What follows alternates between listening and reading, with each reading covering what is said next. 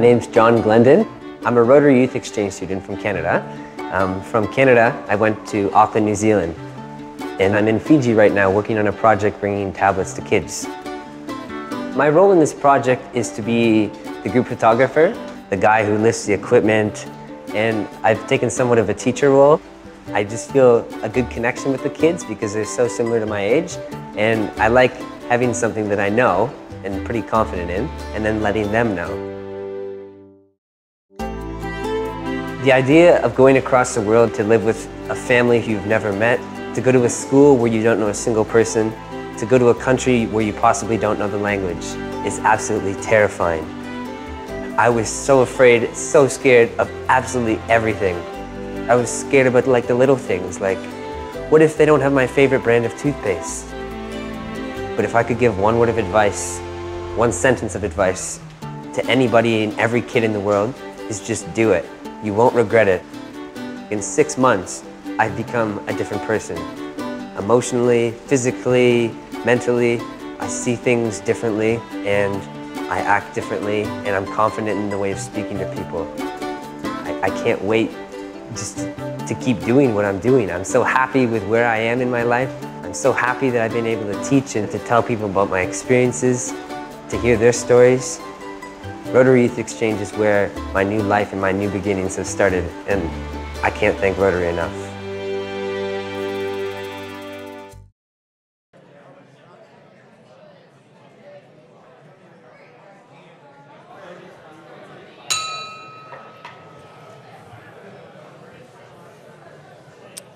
We have a little pre meeting entertainment for you if you look at the screens.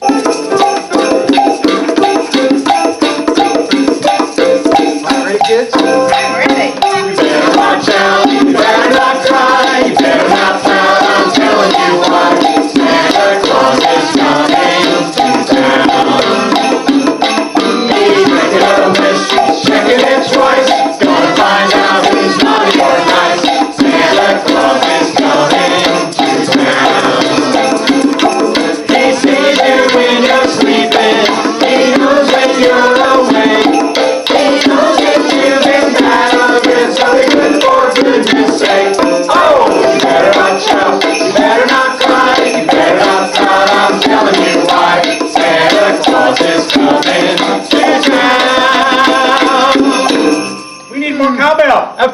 Happy holidays.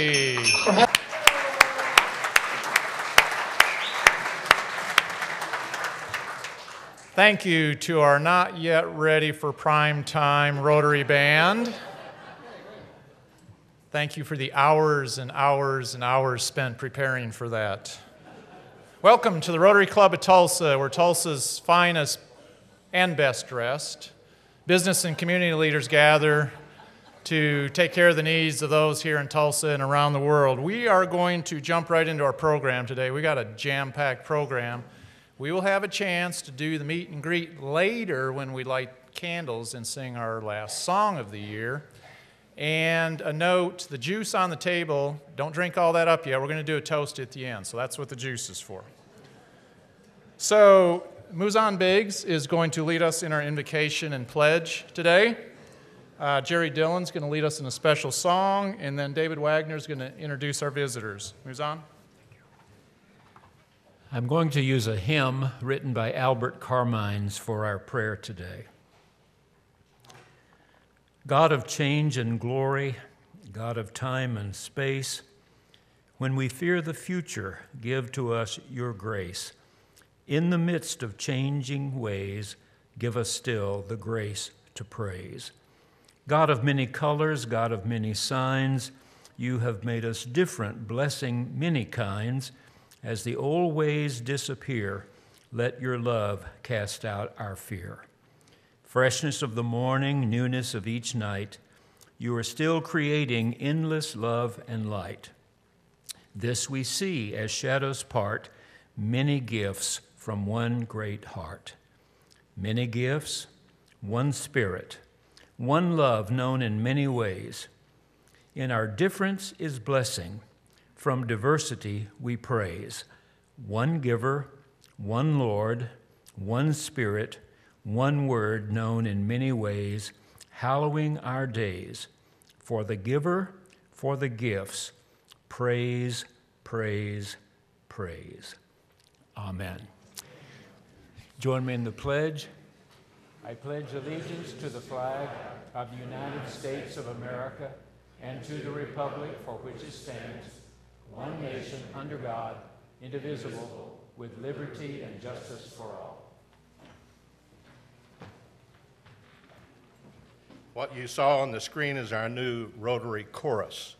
Each of, and each table today, we have hidden mics. So you are, you have an opportunity to qualify. We'll be checking the mics later. We're going to sing another great Christmas song, Deck the Halls. Can you hear the piano playing? okay. Deck the halls with bells of folly, da la la la la, la la la la. Tis the season to be jolly, ba la la la la, la la la la. Don we now in gay apparel, la la la la la la la la la.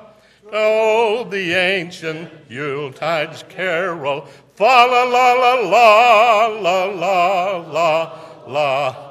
To have a big chorus. Thank you. Okay, yeah, you can be seated. Oh. Almost preempted you. Sorry about that. Well, today's the day that, that uh, President Mike is not going to suggest that we do business with our fellow Rotarians, because that could be kind of scary, I'm just saying. No. no, I'd like to welcome our visitors today. So if you'd stand when I read your name as well as your host's name. The first one, our visitor, Matt Pinnell, who's a candidate for Lieutenant Governor, a guest of Connie Pearson, who is, we're going to hear, see a little bit more of Connie later on. She's sitting up at the front with a red badge here today. And then Bart Hayes, Bart Hayes, who's my amazing husband. That's from Rhonda. Rhonda Hayes, he's a guest of Rhonda. Welcome. Good to have both of you here today. And then Jeannie Kalid here, who's a guest of Norm Asberson. Welcome. Good to have you here today, as Bjorn said, I'm sorry. And then Samantha Isler, uh, who is a guest of Linda Bradshaw. Where are you? Great. Welcome. Good to have you folks here. Welcome, everybody. Thank you for coming today, and we hope you come back again.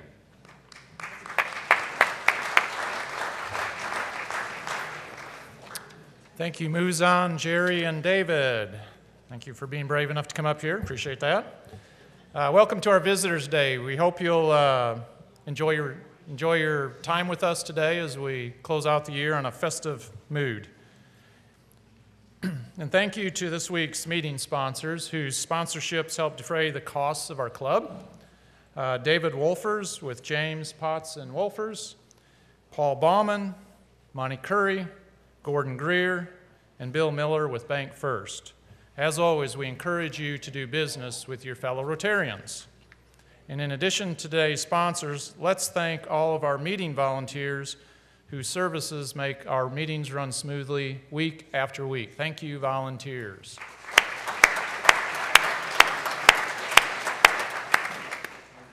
So we have two new red badges to, to award today. So Chuck Wilson is going to introduce Connie Pearson, and then Kathy Gorell and David Wagner are going to introduce Sarah Fry. And while they're coming up, again, John DeBar, thank you again for doing today's new member orientation. We appreciate you, buddy.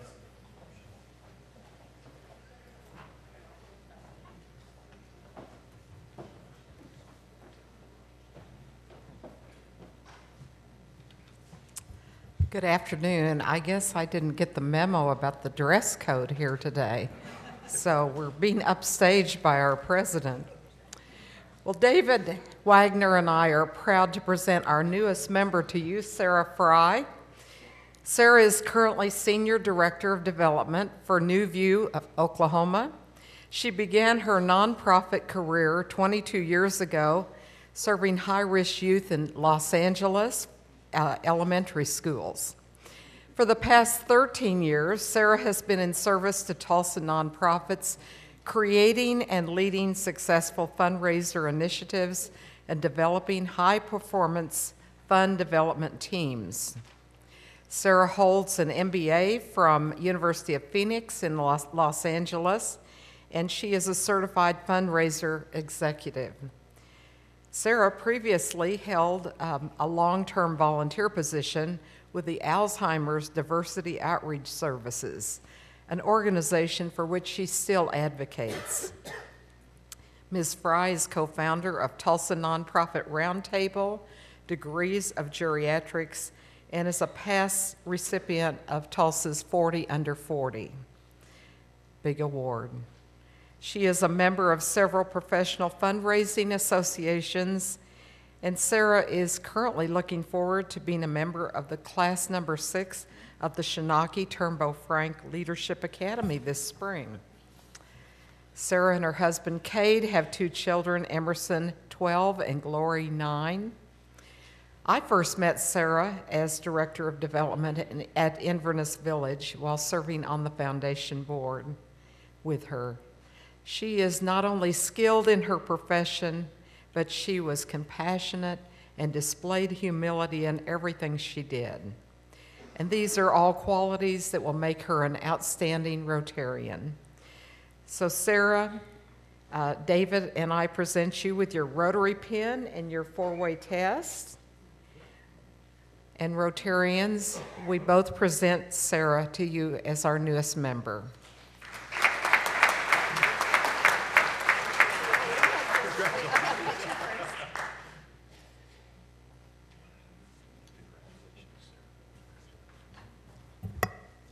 I think that Sarah was one of the most diligent attendees at Rotary until she became a member that I can ever recall.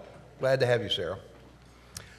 Do you remember when we um, welcomed Gateway Mortgage as a corporate sponsor? And Kevin Stitt, the CEO, was here. Who was not here was his right hand person, Connie Pearson, because she was ill that day. I went ahead and gave you the highlights about her, but I'd like to repeat those. Michael Willis has actually worked on her to become a member of our club even longer than I. So uh, thanks to Michael. Connie is the Director of Government Affairs at Gateway Mortgage Group. She is originally from Fort Gibson, graduated from Oklahoma State, and she worked for Senator Tom Coburn for 10 years. As I now tell you about one of her other uh, participations that she is involved in, you'll understand she's already a Rotarian at heart. She is on the board of Reading Partners, and we know how important that is to us. I've already given her her hardware, so now if you will just welcome her uh, to uh, Connie Pearson.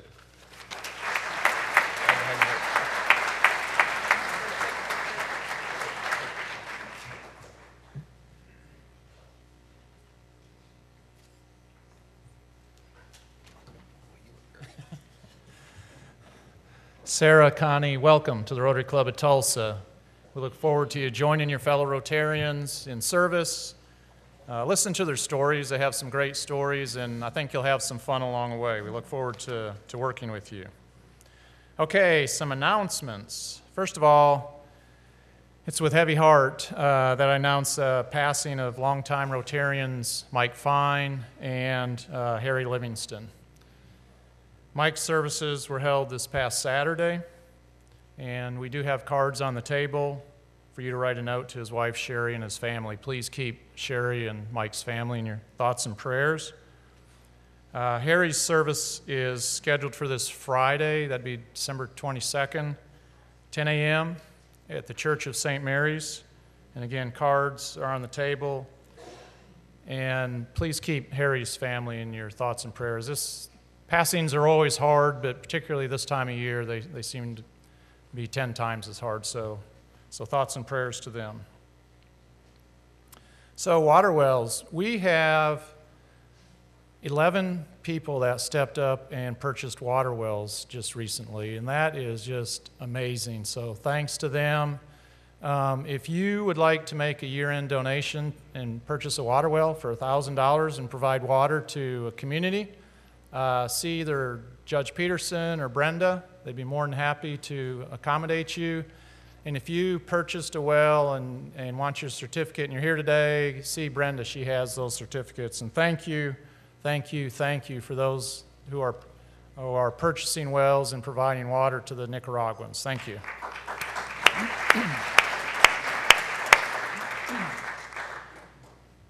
So, SCRY, the South Central Rotary Youth Exchange, will be held uh, next month, January 26th through the 28th, and we're looking for some host families. Uh, you don't have to be a Rotarian to host families, so if you have some friends that might be interested in hosting some students, uh, contact Alicia or Jerry Stamper to sign up. And, and what you do is you sponsor them from Friday evening until about 2 p.m. Saturday. So it's, it's part of, you know, an, an evening and, and part of a day. It gives you an opportunity to show, show a student around Tulsa and, and show the highlights and, and get to meet some great students. I have an announcement about our very own Rochelle Parker. Rochelle, are you back? Yeah, you are. Okay, there you are. So, the um, executive director position for the Rotary District 6110 uh, came open, and Rochelle is accepted an offer from District 6110, and she is going to be the executive director for the district. So, yeah.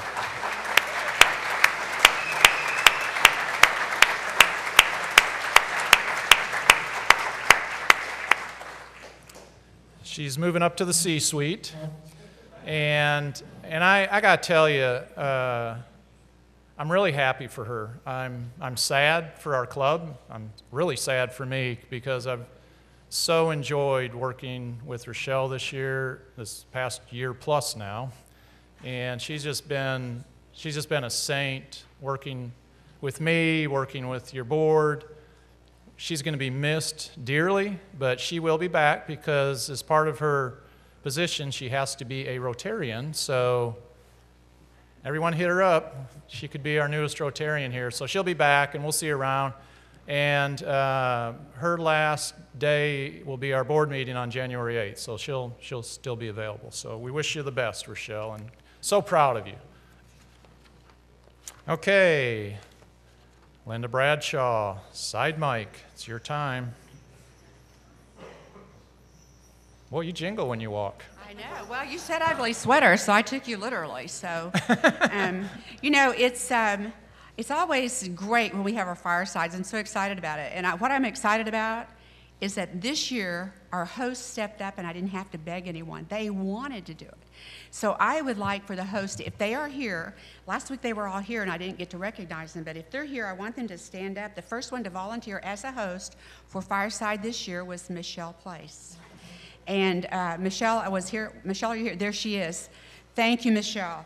She is the executive director for the Tulsa Historical uh, Museum Society here in Tulsa. She joined this club in 2015. Um, she serves as chair on the board for community service. And I understand that her home, instead of the museum, will be her gathering place for Fireside. So, Michelle, thank you so much for volunteering that. And then you'll not be a bit surprised to learn that um, Matt Davis stepped up. He said, I have got to host. I want to be a host this year. Uh, all of you know Matt. He joined our club in 1988, um, and, but he had two years in another club.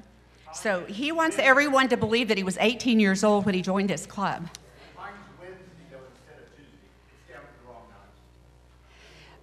Matt, we have you down for the wrong time? Yeah, it's Wednesday night instead of Tuesday. It's Wednesday night instead of Tuesday, so we'll.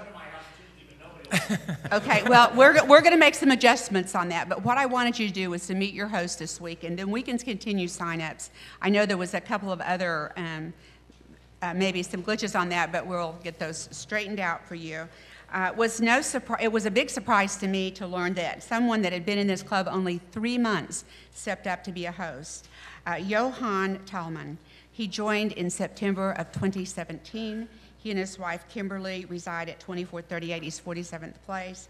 Financial advisor, already active on two committees, and I know this is going to be a wonderful place together for uh, Fireside. Chuck Wilson, are you here today? There he is. He was just there. up front here. hey, Chuck. Okay. Uh, well, Chuck, Chuck has got a beautiful place, hard to find, but he, if you run out of gas on the way out there, he has a gas cannon in his garage. He'll fill you right up. Thank you for that one time for me. Uh, he loves to snow ski, farming. He loves to play bridge. And uh, his favorite thing, though, is spending time with his grandchildren.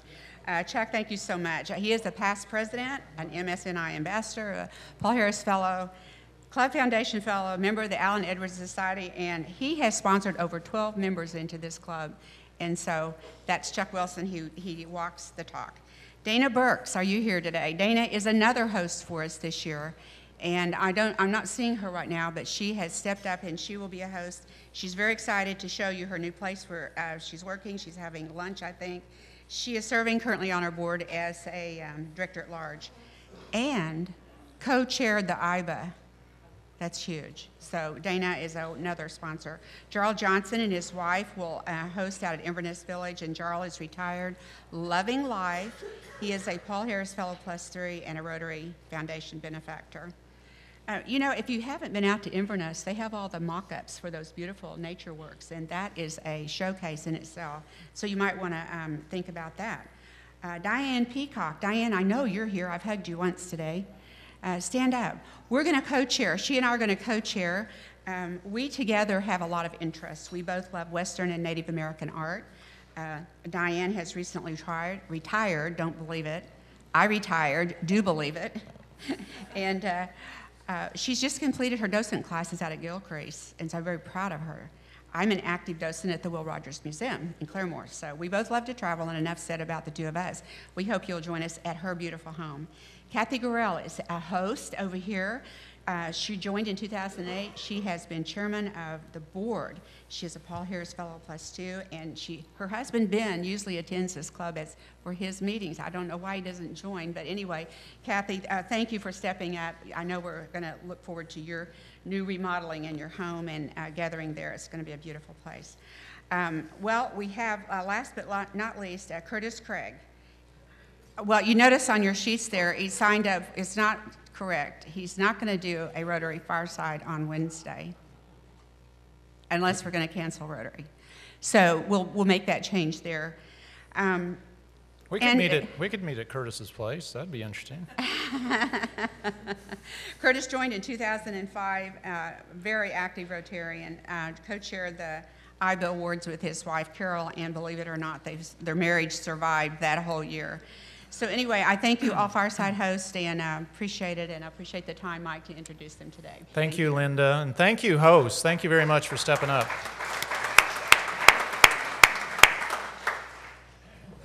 Charles, Yes. you and I must have like the same tailor. People hang out together looking this good. I'm telling you, we are in maybe we're East Coast, West Coast type. Thing. I think so. I'm thinking West Really. Coast. I, I, I yeah. don't know. I mean, uh, you think what West Coast? I think in West Coast. We're looking pretty good. Well, we're styling and profiling. That's all I know. So, yeah. uh, so pictures available after the meeting. yeah, for there's a fine. cost. There's, There's- a fine. yeah, there's I, a cost. I think Lynette's going to pay me about two hundred dollars to take enough pictures. Yeah. So. Yeah. You look good though, dude. Well, thanks, man. I, I just carry after you. Yeah. It's We a try. very proud moment to get your president to start dressing crazy like the Sergeant Arm. You've got a job waiting for you next year. Hannibal might be, you know. just saying. All right. Well, how's everybody doing? Merry Christmas. It's good to be with you all today. And uh, we've got a very special. If you're wondering, two things. We're kind of going with the New Year's Eve theme. So uh, I don't know if you realize that's on the, the horizon. So just mentally kind of go there. The other thing, if you'll notice that our screens are suffering from jaundice. So, you know, the yellow, you know, it's just a part of the theme. So just deal with that there. Poor Miguel was sweating to death. But uh, you're going to be okay, Miguel. That may be to dim our suits. I don't know. I don't know. I was going to. I bought sunglasses. All right, here we go. All right, our first person up, Samantha Isler, uh, the granddaughter. oh, that's not. I, well, you guys. That's Jessica Chastain. That's how Hollywood. that's they close. That's close. I thought it was you, Samantha. See, I'm sitting here. I'm ready to promote you. Samantha has a premiere coming in Tulsa January 5th. It's called Molly's Game. And uh, she had, and let me read this because specifically I want to make sure I get this right because I know it's going to be seen on YouTube by the Hollywood public and they're so demanding. Uh, Linda Bradshaw did a $100 fine for showing the trailer of Molly's Game, which is coming right next. This features her granddaughter, which we've mentioned. She was a Paul Harris Fellow, so that's kind of cool. And uh, Samantha plays the younger Molly Bloom, or Mo- Molly Bloom, in this true story of the poker princess Molly Bloom. The movie has two Golden Globe nominations Best Actress Jessica Chastain, who gets confused extremely with Samantha, and uh, the Best Screen from Aaron Sorkin. So, with that said, here we go $100 trailer right here.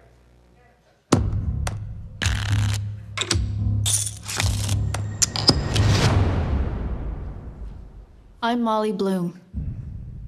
Do you know about me? This is a true story. You ran games in LA for roughly eight years. Yeah. And then you ran games in New York for roughly two. I haven't run a game in over two years, not to spoil the ending. But that's when the government raided my game and took all of my money, assuming all of it was made illegally, which it wasn't. In this room, you couldn't buy your win. I'm all in. You couldn't buy me, and you couldn't buy a seat at the table. Movie stars, athletes, billionaires. That's just the tip of the iceberg. You're not taking percentage of the pot? No. Keep it that way because you don't want to break the law when you're breaking the law. Am I breaking the law? Not really. We're able to find out for sure, aren't we? Laws are written down.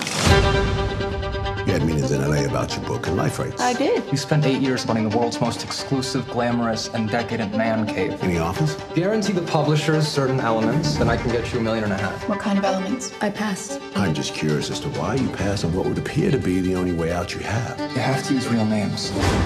Creative differences. The law that I'm accused of breaking defines gambling as betting on games of chance. Yes. Poker isn't a game of chance, poker's a game of skill. Why does a young woman who, at 22, has a gold-plated resume, why does she run poker games? Your risk is nuts. You're gonna get blown up. You got 2.8 million on the street right now. That money should be in your hands. Just how deep into the Russian mob were you? There's a new offer on the table. Complete immunity. We hand over the hard drive. You've seen what's on those hard drives. Families, lives, careers will be ruined. Why are you in this alone? Where are the people you're protecting by not telling the whole story? It's not their names. I'm protecting Charlie. It's mine. Tell me why! Because it's all I have left. Because it's my name. Wow. Wow. Wow. All right. Nice. Very excited. So January 5th, buy tickets, hang out. It's going to be at the, all across Tulsa. Okay. Kevin Costner's in it. Big Field of Dreams fan. Okay, here we go. Thank you very much. Thank you, Linda. Next one. Ah, yes. Uh, David is nice enough to do the $100 fine to help support the music lessons of the fine group that you saw perform earlier. I don't know if Hmm. we should all be offended, but the bottom line was David was a part of it too, so I'm not going to be offended since he's a part of it. Thank you very much, David. Appreciate it. Does this mean we're professionals now? We've been paid? I don't know. We'll find out when we go up the east or west coast. Yeah, yeah. Yeah, actually. Next thing up. All right. Happy birthday and congratulations. John Hallen, $100. He's 67. Is he here today? Is he not here? Oh, that's a shame Nope. because uh, he won his division in the 5K. He didn't identify exactly what the division was. I'm assuming it's best mustache. So, anyway, um, but nonetheless, very happy for him, 67, and congratulations. We can clap. Go watch the video. All right, and DJ, $25 for our friend David Callan. David has put in several hundred hours, not a hundred, not 20, not eight hours, not an hour like we did. Uh, hundreds of hours for the Salvation Army. It's just really incredible volunteer there, and so we want to celebrate his efforts there as well. Thank you, DJ. Thank you. Thank you, I want to take a brief look back at 2017. Okay. Um, I see some of the people in the back, they're really disappointed. You guys are so sentimental back there. Wow, I feel bad. I feel bad, Miguel. They're sentimental. So, you know, I've done the other C's. I've done, you know, clever, courageous, cool. I guess I can do the other C, sentimental. So, um, Linda, will you join me up here? Oh, yeah, a come on up. duet. I don't. I, we're gonna have to get sappy. You know, our We can do was- sappy. Can we do sappy? We're dressed for sappy. All right. While she's putting her music together, I'm depending on her greatly. This is the first time I've ever been accompanied. First time I've ever accompanied. Did not know that. Did not know that. All right. We forgot to put tissues out of the, so you know, use the, use the tablecloth. Okay. You ready? I'll give you a three.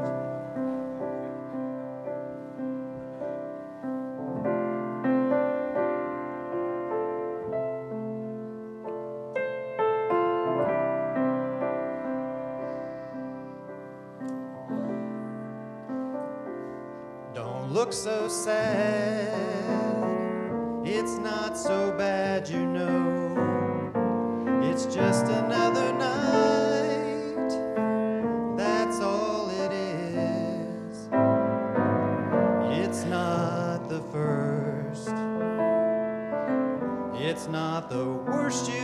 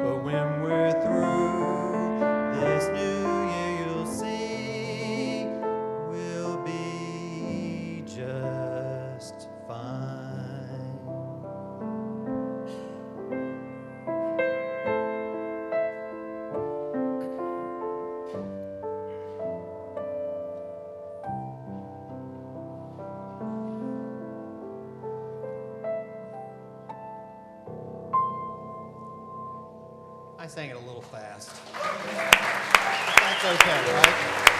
Thank you all very much for all you guys have done this year. It's been a fun first half for me and uh, been having a great time. And the volunteer and the work that Rotary does is just seen across this community, across the world, actually. And thank you so much for all of you just participating and, and volunteering the way you do. It's been a wonderful 2017, and we'll make it to 2018 just fine. Thank you very much.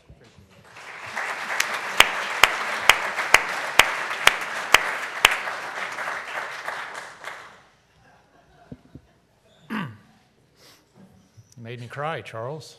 You said you would not do that this year. If you hadn't said anything, I couldn't tell. I'm still staring at the red and the yellow. That was very good. Linda, good job. Good job. Samantha, we're just so glad that your grandmother is part of our club and we get to follow your career. We're so proud of you, so proud of you.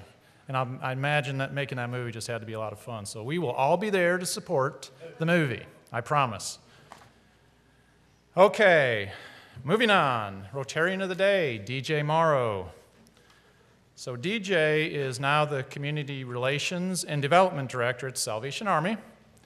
After six years at other Rotary clubs, she joined the Rotary Club of Tulsa in 1995. And DJ has shared her immense communication skills with the club in several committee chairmanship roles. As well, she served as vocational service director and sergeant at arms at one point. DJ is a Paul Harris Fellow and a Club Foundation Fellow. Please join me in welcoming to the podium DJ Morrow.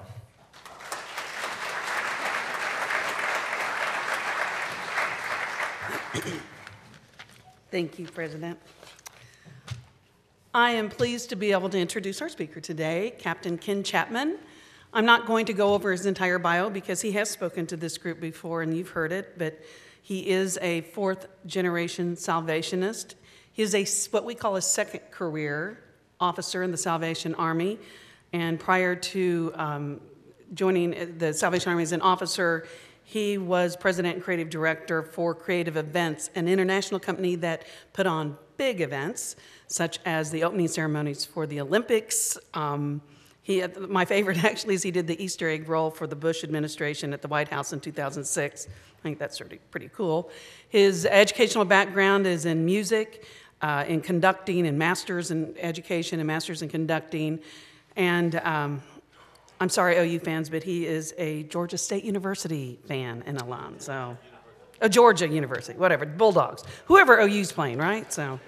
Yeah, so, but let, let, me tell you what the real thing about him. Um, since I do work for him, he's crazy. Absolutely, positively crazy to work for. He's been here for a year and a half and um, comes up with crazy ideas and crazy expectations. He's demanding, and it's just, um, you never know what's going to happen every day when you walk in. But he does see every problem as an opportunity and is willing to face it and he leads by faith and not fear. And for that reason, it is easy to follow him and join him as he tries to make this community better through everything that the Salvation Army can do and by partnering with others.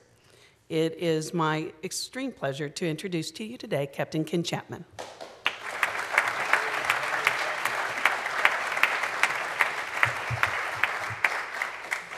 Thank you very much. I don't know whether to hug or a slapper. DJ is an amazing staff member and does a lot. I, I, I, first of all, I have to say that I was a little concerned when I got here. I'm here with my uniform on, and I was sitting at the table, and that label on that bottle is not easy to read from out there. So that bottle sitting next to this uniform might have sent the wrong message. So please don't post anything on social media with me sitting. I, have been asked to give a Christmas message today, but what I want to do first is give you a quick update what we've done in the Salvation Army and what this amazing community has done. First of all, let me say this Tulsa is an amazing community. I, I have never been in a place in the Salvation Army as philanthropic or as just open and loving as the people of the area of Tulsa. And I'm just thrilled and honored to be here and to be able to stand up and, and speak to you guys um, is a great honor. So, Mr. President, thank you for that very much. I want to thank you personally for raising 4000 over $4,000 the other day when you rang the bells, and you outrang every Rotary Club in the entire area. We're grateful for that. And you know, we're trying to do this dip jar thing now. At first, we thought, well, we might not call it a dip jar because in Oklahoma that has kind of a different connotation.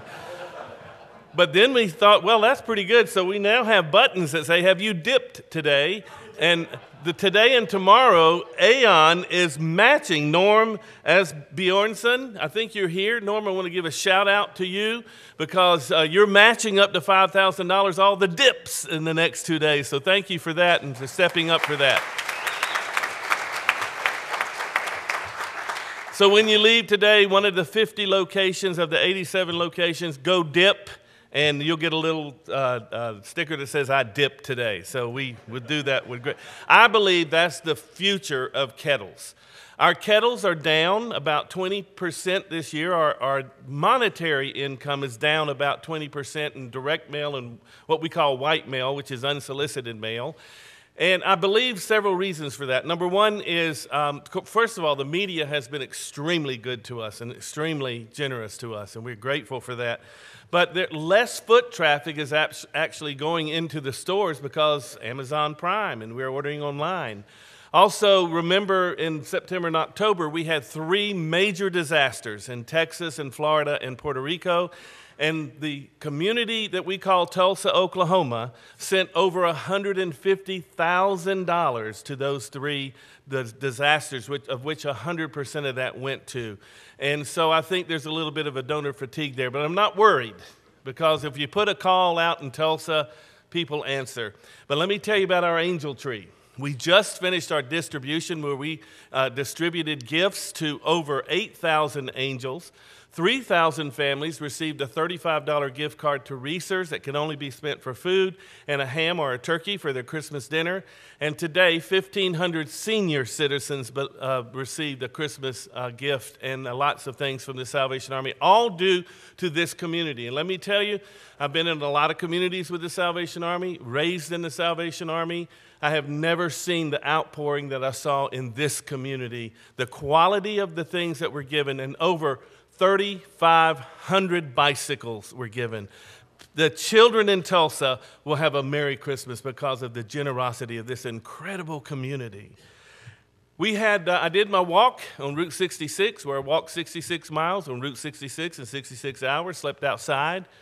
And we had a summit in the middle of that where we brought city and, and uh, um, county officials together, heads of agencies, all the stakeholders in the business of, of serving the homeless because we have grown, the Salvation Army has grown in the services we've been given to homelessness over the last three years 26%.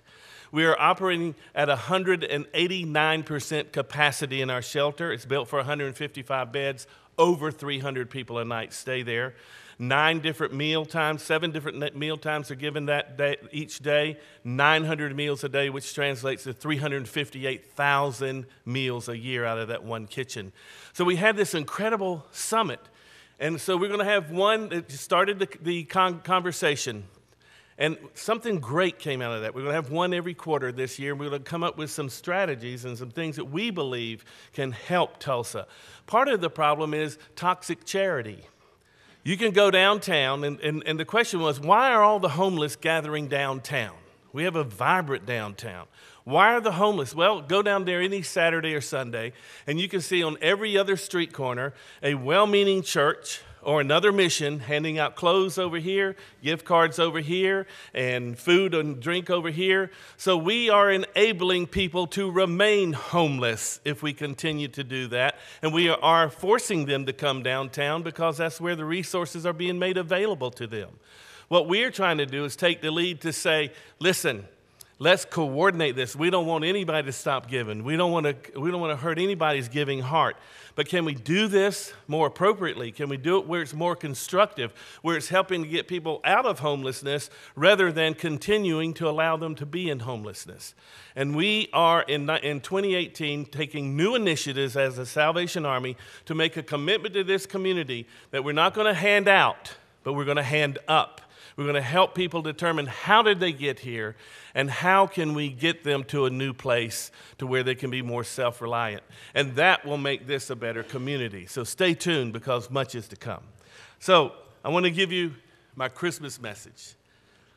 This, this is personal for me because this story, there's a large box that sat unexplained in the corner of my living room for weeks. It, when I was a little boy. It appeared soon after Thanksgiving and sat untouched throughout most of December. It was as tall as I was, which wasn't saying much. I was only five years old. And unlike the other boxes near the Christmas tree, this one bore no glistening wrapping paper or shiny ribbons. It displayed no name, neither of the giver nor the receiver. It was taped shut, tightly shut, or my brother and sister and I would have already opened it, and all we could do was ask about it. So mom had no explanation. She seemed unimpressed. Just something your dad bought for Christmas. If anything, she assumed that dad had used Christmas as an excuse to buy himself a gift. He'd always wanted an outboard motor to mount on the fishing boat. Did that box contain the motor? So on Christmas morning, while my sister opened gifts and my brother and I scampered about playing with our new toys and Hot Wheels, my mom noticed the still unopened gorilla of a box in the corner. Roy, she said, aren't you going to open the big present? Well, my dad could not keep a straight face as he walked. He just couldn't keep a straight face. He began to smile his eyebrows arched like little rainbows, and he looked at her with a Santa sort of twinkle. That gift isn't for me, it's for you. Well, my brother and I stopped and looked. Dad winked at us. Mom looked at us. She was looking at Dad. We knew something fun was about to happen. So Mom stepped toward the box. Dad grabbed the 8 millimeter camera. Y'all remember those? Jerry, you do. And we kids scurried over.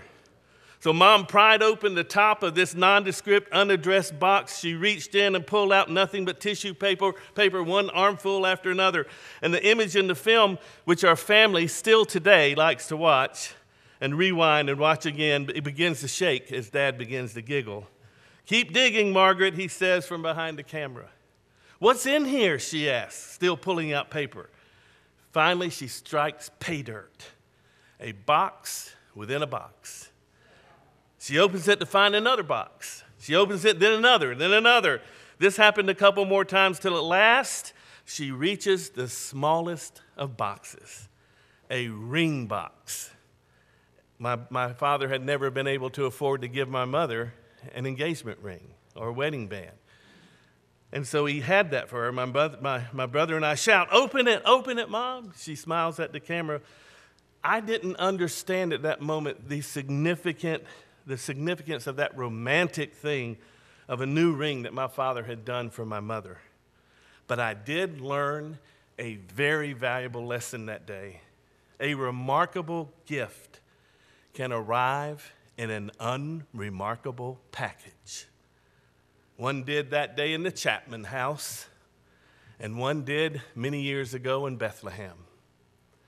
See, no one expected God to come the way he did. Yet the way he came was every bit as important as the coming itself. The manger is the message. A remarkable gift can arrive in an unremarkable package. See, Jesus was in very nature God. And before Bethlehem, think about it, he had all the advantage and all the benefit of deity. All things were made through him, and without him, nothing was made that was made. Every rock, every tree, every planet needs a stamp that says, made by Jesus. He gets the credit for the Whirlpool galaxy. It contains more than 100 billion stars. He created our sun. More than a million Earths could fit inside our sun. Jesus fashioned Betelgeuse, which, if it were placed at the center of the Earth's solar system, would extend out to the orbit of Jupiter. The star Betelgeuse is approximately a thousand times bigger than our sun. Jesus spoke, and the bespangled star and sky happened.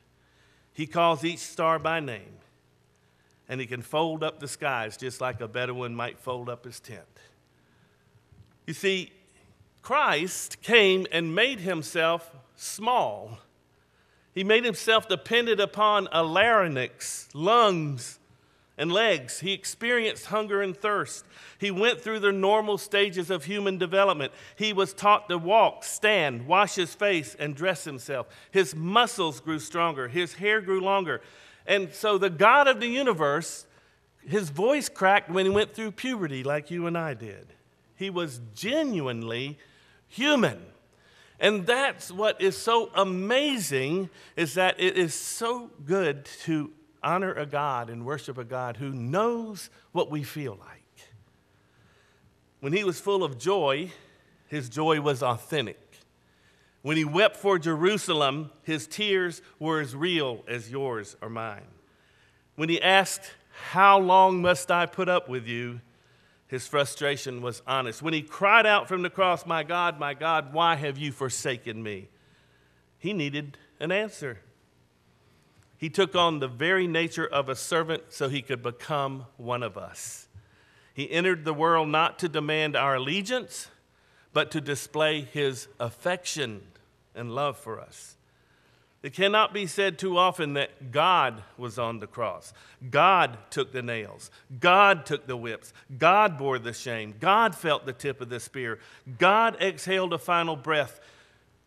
And he made himself nothing and took on the form of a servant. It's one thing for Christ to enter the world through a womb, but another for him to be placed in a tomb, but the tomb couldn't hold him. You see, whether you uh, subscribe to Christian beliefs or not, Christmas is the time when we think about miracles. Christmas is the time when we love each other just a little bit more. When we dig down a little bit deeper and drop money in those red buckets all over town and reach out to the neighbor that we don't speak to all the time. So, regardless of what faith, Christmas has a meaning for each one of us. For those of us who call ourselves Christians, it's a little deeper when we realize who it is we're serving. You see, the poor, the rich, the black, the brown, the politician, the physician, the red carpet superstar, the street corner panhandler, every knee one day, one day will bow and every tongue will confess. So one ruler after another will have to step forward. MVP, PhD, MD, all recognitions will become puny in the presence of Christ the Creator. All the money in history will be shown to be counterfeit. Every Rolls Royce will seem to be an ox cart. Nothing else will matter. And on that great day, we'll see. In one of his broadcasts, C.S. Lewis stated, God will invade. And when that happens, it's the end of the world. And when the author work, walks on the stage, the play is over. For this time, it will be God without disguise. Something so overwhelming that it will strike either irresistible love or irresistible horror into every creature. By the way, Jesus did not surrender his earthly body. The incarnation that began in Bethlehem continues this moment in the heavens. When he ascended, he did so in a human body. Having become man, he will never cease to be a man. The God in the flesh remains exactly that today. And why does this matter? There's a human being in charge of the universe. Glorified for sure, exalted by all means, utterly divine, certainly, but still, the hand that directs the affairs of humanity is the same hand that held a hammer in Nazareth. And in the center of that hand is a scar, an eternal reminder of God's eternal love. And to think, it all began in the most inconspicuous of places a haybox in Bethlehem. A remarkable gift can arrive in an unremarkable package. So I'm going to close with a story of my favorite Salvation Army officer, Major, Major Danny Delaney. In the Salvation Army, we do not die, we are promoted to glory. And he was promoted to glory a couple of years ago. His first appointment out of the training seminary was in Okmulgee, Oklahoma, which happens to be under my, my command right now. And so he was, uh, it was Christmas Eve. This was way before the Angel Tree was um, founded in 1975. And this is way before then. In those days, Salvation Army officers would take a food basket with fruit and some food for Christmas, and a truck for a boy and a doll for a girl, and they would deliver it around town. wasn't nearly as big as the operations we do now. So it was Christmas Eve, and Lieutenant Delaney is standing at the kettle in front of the department store trying to get that last nickel in the kettle. And he's standing there ringing his bell, and it starts to get dark, and the, the uh, department store manager comes out and says, Lieutenant, we're about to close. It's Christmas Eve. Can, can I uh, give you a ride to Salvation Army Hall? No, thank you. My wife, she's a coming. Because his wife was out delivering the, the baskets in the Salvation Army station wagon. He keeps ringing the bell. It starts to snow a little bit. The taxi driver comes by and says, Lieutenant, it's snowing out here. It's Christmas Eve. Can I give you a ride to the Salvation Army Hall? No, thank you. My wife, she's a coming. Lieutenant keeps ringing that bell. And it's the police come by and say, Lieutenant, nobody's out here. It's Christmas Eve. Can I give you a ride to the Salvation Army Hall? No, thank you. My wife, she's a coming. Kept ringing that bell. So finally, Mrs. Delaney showed up in the station wagon. He took the bell and the tripod and the kettle and he put it in the back of the station wagon. And he noticed there was a couple of baskets and some toys left over. He said, There was a family that came to the Salvation Army last week. I think I know where they live. Let's go see if they need Christmas. So they drive through the town, they drive over the railroad tracks, they come to this ramshackle looking group of houses, shotgun houses. They get out of the car, they walk up the rickety steps, and they knock on the door. And when the door was open, they looked down, and there was a five year old girl with a torn dress, no shoes on. They could see there was no evidence of Christmas in the house, no Christmas tree, no decorations, no gifts. And she looked up at him with her big brown eyes, and she said, I was a thinking you was a coming. He said at that moment, God confirmed for him why he was called to be a Salvation Army officer. And, and this is where I am today. I, have had jobs where I made lots of money, lost money, mortgaged my house to keep payroll. Some of y'all know what I'm talking about. Um, and God called me into this where I make less money than I've ever made in my life. I get spit on by some of the very people we help, and, and it's a hard job, on call, seven days a week. But I know that this is what I was created to do. And if I can make a difference in the life of a five year old girl or a 76 year old woman, or a man who is addicted to alcohol and we can put him in our adult rehabilitation center and restore his family, it's worth getting up every day and putting on this uniform. And if we, the leaders of this community, don't love the unloved, who will? I was thinking you were coming. God bless you. Merry Christmas.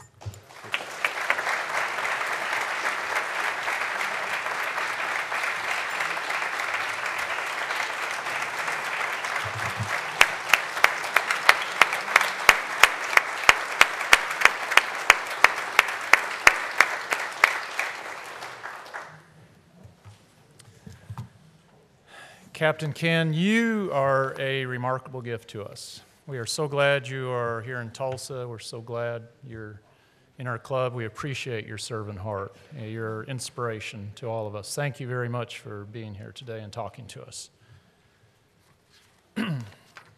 okay, our speaker's book today is appropriately called, entitled A Christmas Carol. So that will be provided to our adopted school, Celia Clinton. Upcoming programs, we are not meeting next week. Get the week off, so don't show up here. On January 3rd, Jenk Jones, former editor of the Tulsa Tribune, who is an entertaining speaker and historian, will be talking to us. He will be sharing his observations of those colorful names given to Oklahoma places and the history behind them. That should be a great way to start off the year. So we're going to close a little different today. So Charles and I were talking, and we're like, you know, it's probably a pretty safe bet that the vast majority of us here on New Year's Eve are probably in bed about 10 o'clock, if not earlier. So we thought, you know, why don't we celebrate New Year's Eve today, our last meeting of the year, and then you can, when you go to bed at 10 o'clock or 9 o'clock, you can go to bed guilt free on New Year's Eve, okay? So here's what we're going to do. We got you have candles. I want need you everyone stand up. This is your meet and greet time. Light your candles. We're going to count down from 10 to, to New Year's Eve. Jerry Dillon's going to lead us in a great New Year's Eve song, and then I'm going to offer a toast, and that's how we're going to close this year. So if you light your candles. keys out to bring Oh, if yeah, if you want to have your keys out and ring a ling as we sing along here.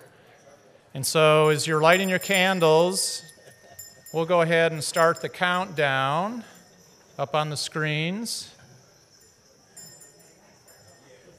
10, 9, 8, 7, 6, 5, 4, 3, 2, 1. New Year. Should all acquaintance be forgot and never got to time, they'll all acquaintance be forgot as on an old exile. That was probably dangerous having that flame that close to my coat there. So now, if you'll grab your juice, and we'll, I offer a toast. First of all, to those Rotarians who were here with us this time last year, but are now watching and cheering us on from a balcony in heaven. We salute you. And a salute to service above self, and to you all who model service above self better than anyone I know. Your servant hearts, your servant actions. I've been providing much needed warmth and comfort to many Tulsans and those around the world. And now, welcome to the new year, full of things that have never been. Salute.